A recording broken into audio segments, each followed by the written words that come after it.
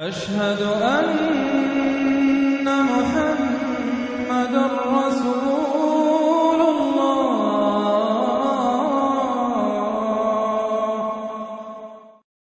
اللیل. نام. پہلے ہی لفظ واللیل کو اس سورہ کا نام قرار دیا گیا ہے. زمانہ نزول. اس کا مضمون سورہ شمس سے اس قدر مشابہ ہے کہ یہ دونوں صورتیں ایک دوسرے کی تفسیر محسوس ہوتی ہیں۔ ایک ہی بات ہے جسے سورہ شمس میں ایک طریقے سے سمجھایا گیا ہے اور اس سورہ میں دوسرے طریقے سے۔ اس سے اندازہ ہوتا ہے کہ یہ دونوں قریب قریب ایک ہی زمانے میں نازل ہوئی ہیں۔ موضوع اور مضمون۔ اس کا موضوع زندگی کے دو مختلف راستوں کا فرق اور ان کے انجام اور نتائج کا اختلاف بیان کرتا ہے۔ مضمون کے لحاظ سے یہ صورت دو حصوں پر مشتمل ہے۔ پہلا حصہ آغاز سے آیت گیارہ تک ہے اور دوسرا حصہ آیت بارہ سے آخر تک۔ پہلے حصے میں سب سے پہلے یہ بتایا گیا ہے کہ نوع انسانی کے افراد، اقوام اور گروہ دنیا میں جو سی و عمل بھی کر رہے ہیں، وہ لازمن اپنی اخلاقی نوعیت کے لحاظ سے اسی طرح مختلف ہیں، جس طرح دن رات سے اور نر مادہ سے مختلف ہے۔ اس کے بعد قرآن کی مختلف صورتوں کے عام انداز بیان کے مطابق تین اخلاقی خصوصیات ایک نوعیت کی اور تین اخلاقی خصوصیات دوسری نوعیت کی سی و عمل کے ایک وسیع مجموعے میں سے لے کر بطور نمونہ پیش کی گئی ہیں، جسے سن کر ہر شخص بڑی آسانی کے ساتھ یہ اندازہ لگا سکتا ہے کہ ایک قسم کی خصوصیات کس طرز زندگی کی نمائندگی کرتی ہیں اور دوسری قسم کی خصوصیات اس کے برعکس کس دوسرے طرز زندگی کی علامات ہیں۔ یہ دونوں نمونے ایسے چھوٹے چھوٹے خوبصورت جچے تلے فکروں میں بیان کیے گئے ہیں کہ سنتے ہی آدمی کے دل میں اتر جائیں اور زبان پر چڑھ جائیں۔ پہلی قسم کی خصوصیات یہ ہیں کہ آدمی مال دے، خدا ترسی و پرہیزگاری اختیار کرے اور بھلائی کو بھلائی مانے۔ دوسری قسم کی خصوصیات یہ ہیں کہ وہ بخل کرے، خدا کی رضا اور ناراضی کی فکر سے بے پرواہ ہو جائے اور بھلی بات کو جھٹلا دے۔ پھر بتایا گیا ہے کہ یہ دو طرز عمل جو سریحن ایک دوسرے سے مختلف ہیں، اپنے نتائج کے اعتبار سے ہرگز یکساں نہیں ہیں، بلکہ جس قدر یہ اپنی نوعیت میں متضاد ہیں، اسی قدر ان کے نتائج بھی متضاد ہیں۔ پہلے طرز عمل کو جو شخص یا گروہ اختیار کرے گا، اللہ تعالیٰ اس کے لیے زندگی کے صاف اور سیدھے راستے کو سہل کر دے گا۔ یہاں تک کہ اس کے لیے نیکی کرنا آسان اور بدی کرنا مشکل ہو جائے گا۔ اور دوسرے طرز عمل کو جو بھی اختیار کرے گا، اللہ تعالیٰ اس کے لیے زندگی کے بکٹ اور سخت راستے کو سہل کر دے گا۔ یہاں تک کہ اس کے لیے بدی آسان اور نیکی مشکل ہو جائے گی۔ اس بیان کو ایک نہایت مؤثر اور تیر کی طرح دل میں پیوست ہو جانے والے جملے پر ختم کیا گیا ہے کہ دنیا کا یہ مال جس کے پیچھے آدمی جان دیے دیتا ہے، آخر قبر میں تو اس کے ساتھ جانے والا نہیں ہے۔ مرنے کے بعد یہ اس کے کس کام آئے گا؟ دوسرے حصے میں بھی اسی اختصار کے ساتھ تین حقیقتیں بیان کی گئی ہیں۔ ایک یہ کہ اللہ نے دنیا کی اس امتحان گاہ میں انسان کو بے خبر نہیں چھوڑا ہے، بلکہ اس نے یہ بتا دینا اپنے ذمے لیا ہے کہ زندگی کے مختلف راستوں میں سے سیدھا راستہ کون سا ہے۔ اس کے ساتھ یہ کہنے کی ضرورت نہ تھی کہ اپنا رسول اور اپنی کتاب بھیج کر اس نے اپنی یہ ذمہ داری ادا کرتی ہے، کیونکہ رسول صلی اللہ علیہ وسلم اور قرآن دونوں ہدایت دینے کے لیے سب کے سامنے موجود تھے۔ دوسری حقیقت یہ بیان کی گئی ہے کہ دنیا اور آخرت دونوں کا مالک اللہ ہی ہے۔ دنیا مانگو گے تو وہ بھی اسی سے ملے گی اور آخرت مانگو گے تو اس کا دینے والا بھی وہی ہے۔ یہ فیصلہ کرنا تمہارا اپنا کام ہے کہ تم اس سے کیا مانگتے ہو۔ تیسری حقیقت یہ بیان کی گئی ہے کہ جو بدبخت اس بھلائی کو جھٹلائے گا جسے رسول اور کتاب کے ذریعے سے پیش کیا جا رہا ہے اور اس سے منہ پھیرے گا اس کے لیے بھڑکتی ہوئی آگ تیار ہے۔ اور جو خدا ترس آدمی پوری بے غرضی کے ساتھ محض اپنے رب کی رضا جوئی کی خاطر اپنا مال راہ خیر میں صرف کرے گا اس کا رب اس سے راضی ہوگا اور اسے اتنا کچھ دے گا کہ وہ خوش ہو جائے گا۔ بسم اللہ الرحمن الرحیم۔ شروع اللہ کے نام سے جو رحمان و رحیم ہے۔ واللیل اذا یغشا والنهار اذا تجلى وما خلق الذكر والانثى إن سعيكم لشتى قسم ہے رات کی جبکہ وہ چھا جائے اور دن کی جبکہ وہ روشن ہو اور اس ذات کی جس نے نر اور مادہ کو پیدا کیا در حقیقت تم لوگوں کی کوششیں مختلف قسم کی ہیں۔ یہ وہ بات ہے جس پر رات اور دن اور نر و مادہ کی پیدائش کی قسم کھائی گئی ہے۔ مطلب یہ ہے کہ جس طرح رات اور دن اور نر اور مادہ ایک دوسرے سے مختلف ہیں اور ان میں سے ہر دو کے آثار و نتائج باہم متضاد ہیں اسی طرح تم لوگ جن راہوں اور مقاصد میں اپنی کوششیں صرف کر رہے ہو، وہ بھی اپنی نوعیت کے لحاظ سے مختلف اور اپنے نتائج کے اعتبار سے متضاد ہیں۔ اس کے بعد کی آیات میں بتایا گیا، یہ تمام مختلف کوششیں دو بڑی اقسام میں تقسیم ہوتی ہیں۔ فأما من أعطى واتقى وصدق بالحسنى فسنيسره لليسرى تو جس نے راہ خدا میں مال دیا اور خدا کی نافرمانی سے پرہیز کیا اور بھلائی کو سچ مانا، اس کو ہم آسان راستے کے لیے سہولت دیں گے۔ سچ مانا۔ یہ انسانی مسائی کی ایک قسم ہے جس میں تین چیزیں شمار کی گئی ہیں اور غور سے دیکھا جائے تو معلوم ہوتا ہے کہ وہ تمام خوبیوں کی جامع ہیں۔ ایک یہ کہ انسان زرپرستی میں مبتلا نہ ہو، بلکہ کھلے دل سے اپنا مال، جتنا کچھ بھی اللہ نے اسے دیا ہے، اللہ اور اس کے بندوں کے حقوق ادا کرنے میں، نیکی اور بھلائی کے کاموں میں، اور خلق خدا کی مدد کرنے میں صرف کرے۔ دوسرے یہ کہ اس کے دل میں خدا کا خوف ہو، اور وہ اخلاق، اعمال، معاشرت، معیشت، غرض اپنی زندگی کے ہر شعبے میں ان کاموں سے پرہیز کرے جو خدا کی ناراضی کے موجب ہوں۔ تیسرے یہ کہ وہ بھلائی کی تصدیق کرے۔ بھلائی ایک وسیع المعنی لفظ ہے جس میں عقیدے، اخلاق اور اعمال تینوں کی بھلائی شامل ہے۔ عقیدے میں بھلائی کی تصدیق یہ ہے کہ آدمی شرک اور دہریت اور کفر کو چھوڑ کر توحید، آخرت اور رسالت کو برحق مانے۔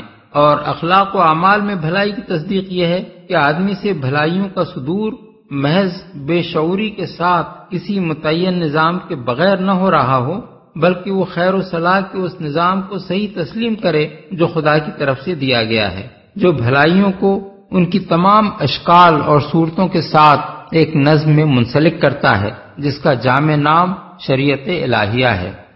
سہولت دیں گے۔ یہ ہے مسائی کی اس قسم کا نتیجہ۔ آسان راستے سے مراد وہ راستہ ہے جو انسان کی فطرت کے مطابق ہے۔ جو اس خالق کی مرضی کے مطابق ہے، جس نے انسان کو اور ساری کائنات کو بنایا ہے، جس میں انسان کو اپنے ضمیر سے لڑ کر نہیں چلنا پڑتا، جس میں انسان اپنے جسم و جان اور عقل و ذہن کی قوتوں پر زبردستی کر کے ان سے وہ کام نہیں لیتا جس کے لیے یہ طاقتیں اس کو نہیں بخشی گئی ہیں، بلکہ وہ کام لیتا ہے جس کے لیے در حقیقت یہ اس کو بخشی گئی ہیں۔ جس میں انسان کو ہر طرف اس جنگ، مزاحمت اور کشمکش سے سابقہ پیش نہیں آتا جو گناہوں سے بھری ہوئی زندگی میں پیش آتا ہے، بلکہ انسانی معاشرے میں ہر قدم پر اس کو صلح و آشتی اور قدر و منزلت میسر آتی چلی جاتی ہے۔ ظاہر بات ہے کہ جو آدمی اپنا مال خلق خدا کی بھلائی کے لیے استعمال کر رہا ہو، جو ہر ایک سے نیک سلوک کر رہا ہو، جس کی زندگی جرائم، فسق و فجور اور بد کرداری سے پاک ہو، جو اپنے معاملات میں کھڑا اور راست باز ہو، جو کسی کے ساتھ بے ایمانی، بدعہدی اور بے وفائی نہ کرے، جس سے کسی کو خیانت، ظلم اور زیادتی کا اندیشہ نہ ہو، جو ہر شخص کے ساتھ اچھے اخلاق سے پیش آئے اور کسی کو اس کی سیرت و کردار پر انگلی رکھنے کا موقع نہ ملے۔ وہ خواب کیسے ہی بگڑے ہوئے معاشرے میں رہتا ہو، بہرحال اس کی قدر ہو کر رہتی ہے۔ اس کی طرف دل کھینچتے ہیں نگاہوں میں اس کی عزت قائم ہو جاتی ہے، اس کا اپنا قلب و ضمیر بھی مطمئن ہوتا ہے اور معاشرے میں بھی اس کو وہ وقار حاصل ہوتا ہے جو کبھی کسی بد کردار آدمی کو حاصل نہیں ہوتا۔ یہی بات ہے جو سورہ نحل میں فرمائی گئی ہے کہ من عمل صالحم من ذکر او انفا وہ مؤمن حیات طیبہ۔ یعنی جو شخص نیک عمل کرے، خواہ وہ مرد ہو یا عورت اور ہو وہ مومن، اسے ہم اچھی زندگی بسر کرائیں گے۔ آیت ستانوے۔ اور اسی بات کو سورہ مریم میں یوں بیان کیا گیا ہے کہ ان الزین آمن و عامل الصالحات سید الحم الرحمٰن ودا یعنی یقیناً جو لوگ ایمان لائے اور جنہوں نے نیک عمل کیے، رحمان ان کے لیے دلوں میں محبت پیدا کر دے گا۔ آیت چھیانوے۔ پھر یہی وہ راستہ ہے جس میں دنیا سے لے کر آخرت تک انسان کے لیے سرور ہی سرور اور راحت ہی راحت ہے۔ اس کے نتائج عارضی اور وقتی نہیں، بلکہ ابدی اور لازوال ہیں۔ اس کے متعلق اللہ تعالیٰ کے ارشاد ہے کہ ہم اسے اس راستے پر چلنے کے لیے سہولت دیں گے۔ اس کے معنی یہ ہیں کہ جب وہ بھلائی کی تصدیق کر کے یہ فیصلہ کر لے گا کہ یہی راستہ میرے لائق ہے اور برائی کا راستہ میرے لائق نہیں ہے، اور جب وہ عملاً مالی ایثار اور تقوی کی زندگی اختیار کر کے یہ ثابت کر دے گا کہ اس کی یہ تصدیق سچی ہے، تو اللہ تعالیٰ اس راستے پر چلنا اس کے لیے سہل کر دے گا۔ اس کے لیے پھر گناہ کرنا مشکل اور نیکی کرنا آسان ہو جائے گا۔ مال حرام اس کے سامنے آئے گا تو وہ یہ نہیں سمجھے گا کہ یہ نفع کا سودا ہے، بلکہ اسے یوں محسوس ہوگا کہ یہ آگ کا انگارہ ہے جسے وہ ہاتھ میں نہیں لے سکتا۔ بدکاری کے مواقع اس کے سامنے آئیں گے تو وہ انہیں لطف اور لذت حاصل کرنے کے مواقع سمجھ کر ان کی طرف نہیں لپکے گا، بلکہ جہنم کے دروازے سمجھ کر ان سے دور بھاگے گا۔ نماز اس پر گرانہ ہوگی، بلکہ اسے چین نہیں پڑے گا۔ جب تک وقت آنے پر وہ اس کو ادا نہ کر لے۔ زکات دیتے وقت اس کا دل نہیں دکھے گا، بلکہ اپنا مال اسے ناپاک محسوس ہوگا جب تک وہ اس میں سے زکوٰۃ نہ نکال دے۔ غرض ہر قدم پر اللہ تعالی کی طرف سے اس کو اس راستے پر چلنے کی توفیق و تائید ملے گی۔ حالات کو اس کے لیے سازگار بنایا جائے گا اور اس کی مدد کی جائے گی۔ یہاں یہ سوال پیدا ہوتا ہے کہ اس سے پہلے سورہ بلد میں اسی راستے کو دشوار گزار گھاٹی کہا گیا ہے اور یہاں اس کو آسان راستہ قرار دیا گیا ہے۔ ان دونوں باتوں میں تطبیق کیسے ہوگی؟ اس کا جواب یہ ہے کہ اس راہ کو اختیار کرنے سے پہلے یہ آدمی کو دشوار گزار گھاٹی ہی محسوس ہوتی ہے، جس پر چڑھنے کے لیے اسے اپنے نفس کی خواہشوں سے، اپنے دنیا پرست اہل و عیال سے، اپنے رشتہ داروں سے، اپنے دوستوں اور معاملہ داروں سے، اور سب سے بڑھ کر شیطان سے لڑنا پڑتا ہے، کیونکہ ہر ایک اس میں رکاوٹیں ڈالتا ہے اور اس کو خوفناک بنا کر دکھاتا ہے۔ لیکن جب انسان بھلائی کی تصدیق کر کے اس پر چلنے کا عزم کر لیتا ہے اور اپنا مال راہ خدا میں دے کر اور تقوا کا طریقہ اختیار کر کے عملاً اس عزم کو پختہ کر لیتا ہے، تو اس گھاٹی پر چڑھنا اس کے لیے آسان اور اخلاقی پستیوں کے کھڈ میں لڑھکنا اس کے لیے مشکل ہو جاتا ہے۔ وَأَمَّا مَن بَخِلَ وَاسْتَغْنَى وَكَذَّبَ بِالْحُسْنَى فَسَنُيَسِّرُهُ لِلْعُسْرَى وَمَا يُغْنِي عَنْهُ مَالُهُ إِذَا تَرَدَّى اور جس نے بخل کیا اور اپنے خدا سے بے نیازی برتی اور بھلائی کو چھپلایا اس کو ہم سخت راستے کے لیے سہولت دیں گے اور اس کا مال آخر اس کے کس کام آئے گا جبکہ وہ ہلاک ہو جائے؟ بھلائی کو جھٹلایا۔ یہ انسانی مسائی کی دوسری قسم ہے جو اپنے ہر جزم میں پہلی قسم کے ہر جز سے مختلف ہے۔ بخل سے مراد محض وہ بخل نہیں ہے جس کے لحاظ سے عام طور پر لوگ اس آدمی کو بخیل کہتے ہیں جو روپیہ جوڑ جوڑ کر رکھتا ہے اور اسے نہ اپنے اوپر خرچ کرتا ہے نہ اپنے بال بچوں پر۔ بلکہ اس جگہ بخل سے مراد رائے خدا میں اور نیکی اور بھلائی کے کاموں میں مال صرف نہ کرنا ہے اور اس لحاظ سے وہ شخص بھی بخیل ہے جو اپنی ذات پر اپنے عیش و آرام پر، اپنی دلچسپیوں اور تفریحوں پر تو خوب دل کھول کر مال لٹاتا ہے، مگر کسی نیک کام کے لیے اس کی جیب سے کچھ نہیں نکلتا۔ یا اگر نکلتا بھی ہے تو یہ دیکھ کر نکلتا ہے کہ اس کے بدلے میں اسے شہرت، نام و نمود، حکام رسی یا کسی اور قسم کی منفیت حاصل ہوگی۔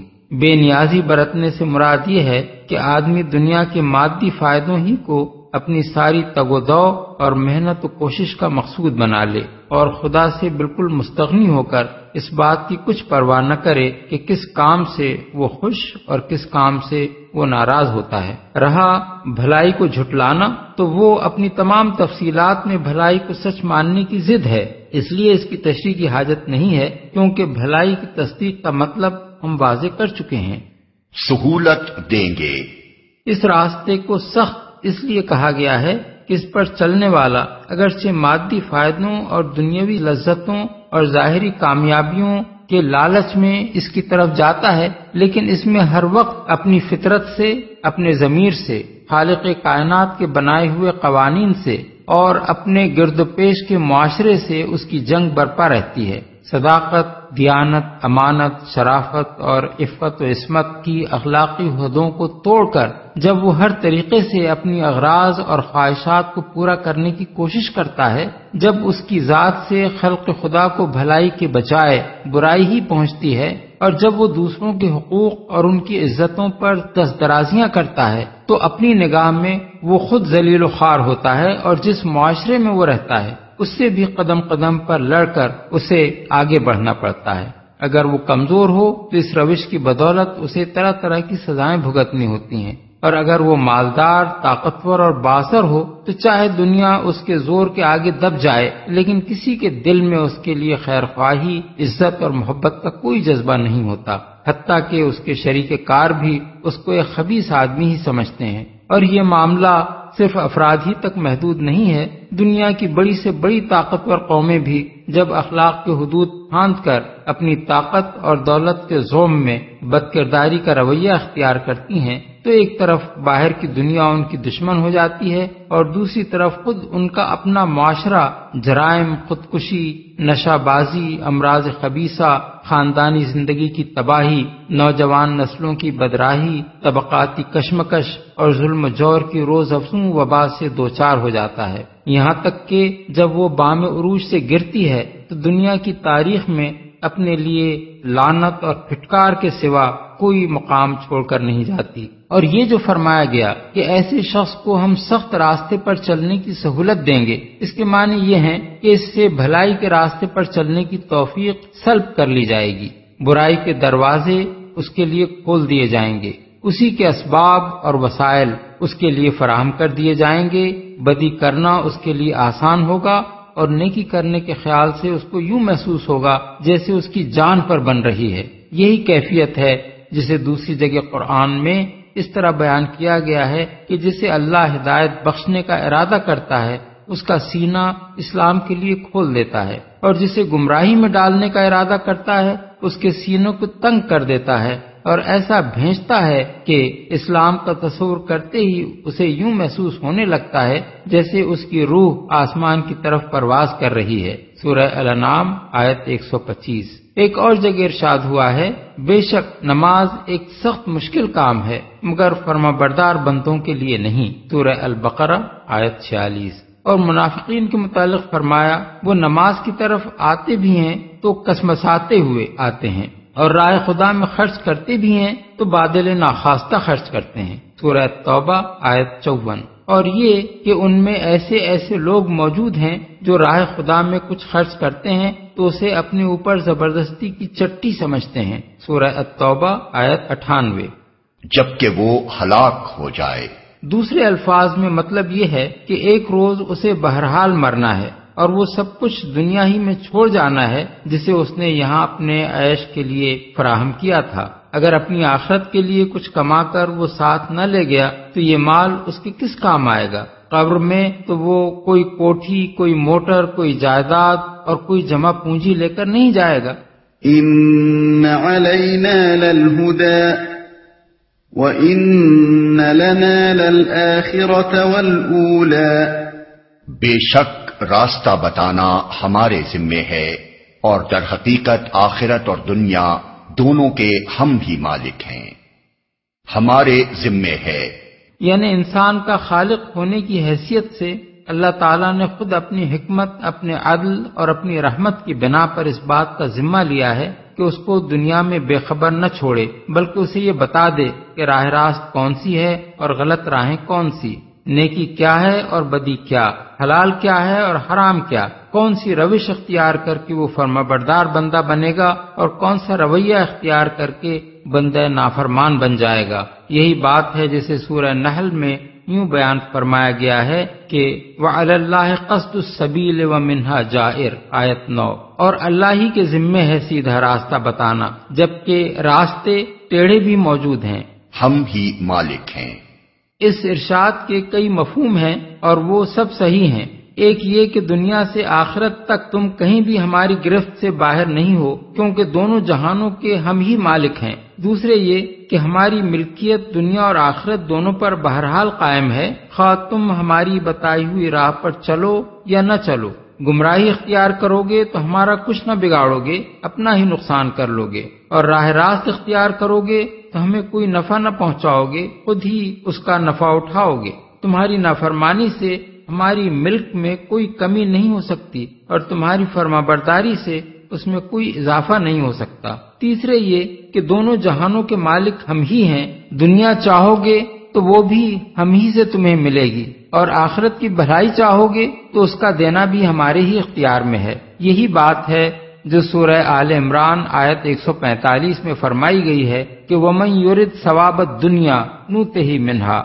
ومن یورد ثواب الآخرت نو تہی منہا۔ یعنی جو شخص ثواب دنیا کے ارادے سے کام کرے گا، اس کو ہم دنیا ہی میں سے دیں گے۔ اور جو ثواب آخرت کے ارادے سے کام کرے گا، اس کو ہم آخرت میں سے دیں گے۔ اور اسی کو سورہ شورا آیت بیس میں اس طرح بیان فرمایا گیا ہے کہ من کان یرید و ہرسل آخرت نزد لہوفی ہر سے ہی و من کان یرید و ہرسل دنیا نو ہی منہا و ماں لہوف الآخرت من نصیب۔ یعنی جو کوئی آخرت کی کھیتی چاہتا ہے، اس کی کھیتی کو ہم بڑھاتے ہیں، اور جو دنیا کی کھیتی چاہتا ہے، اسے دنیا ہی میں سے دیتے ہیں، مگر آخرت میں اس کا کوئی حصہ نہیں ہے۔ فأنذرتكم نارا تلظى۔ لا يصلاها إلا الأشقى الذي كذب وتولى. بس میں نے تم کو خبردار کر دیا ہے بھڑکتی ہوئی آگ سے۔ اس میں نہیں جھلسے گا مگر وہ انتہائی بدبخت جس نے جھٹلایا اور منہ پھیرا۔ وَسَيُجَنَّبُهَا الْأَتْقَى الَّذِي يُؤْتِي مَالَهُ يَتَزَكَّى وَمَا لِأَحَدٍ عِندَهُ مِن نِعْمَةٍ تُجَزَى إِلَّا ابْتِغَاءَ وَجْهِ رَبِّهِ الْأَعْلَى وَلَسَوْفَ يَرْضَى. اور اس سے دور رکھا جائے گا وہ نہایت پرہیزگار جو پاکیزہ ہونے کی خاطر اپنا مال دیتا ہے۔ اس پر کسی کا کوئی احسان نہیں ہے جس کا بدلہ اسے دینا ہو۔ وہ تو صرف اپنے رب برتر کی رضا جوئی کے لیے یہ کام کرتا ہے اور ضرور وہ اس سے خوش ہوگا۔ اپنا مال دیتا ہے۔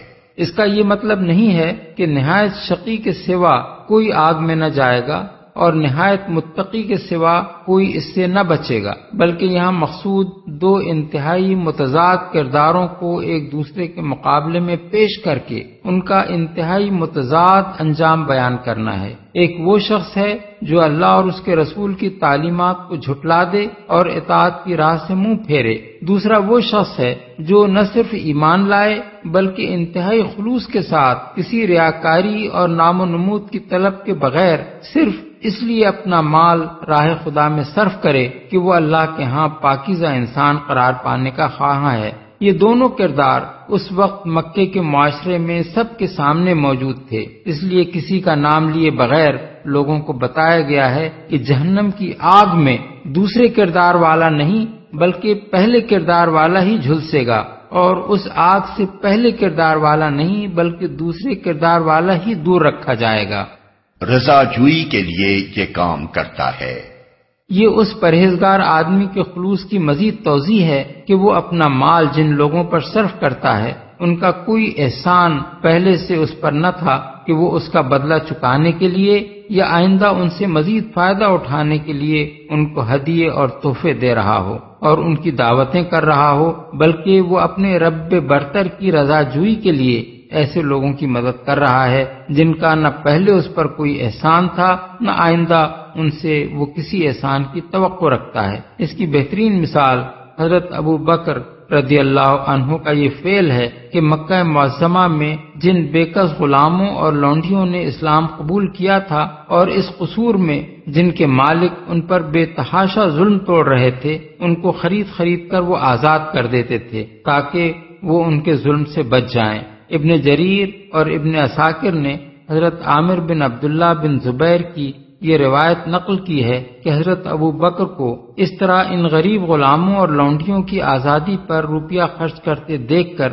ان کے والد نے ان سے کہا کہ بیٹا، میں دیکھ رہا ہوں کہ تم کمزور لوگوں کو آزاد کر رہے ہو۔ اگر مضبوط جوانوں کی آزادی پر تم یہی روپیہ خرچ کرتے، تو وہ تمہارے لیے قوت بازو بنتے۔ اس پر حضرت ابو بکر نے ان سے کہا، اے ابا، انما اریدو ما عند اللہ۔ یعنی ابا جان میں تو وہ اجر چاہتا ہوں جو اللہ کے ہاں ہے۔ اس سے خوش ہوگا۔ اس آیت کے دو معنی ہو سکتے ہیں اور دونوں صحیح ہیں۔ ایک یہ کہ ضرور اللہ اس سے راضی ہو جائے گا۔ دوسرے یہ کہ انقریب اللہ اس شخص کو اتنا کچھ دے گا کہ وہ خوش ہو جائے گا۔